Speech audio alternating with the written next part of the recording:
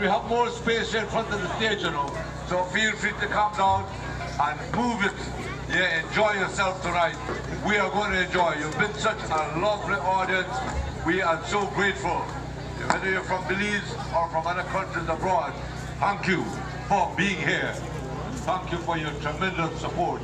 As we're going to continue until midnight, we're going to party, we're going to enjoy, we're going to make this a historical event, ladies and gentlemen, only in the beautiful garden city of Belmopan. Thank you very much.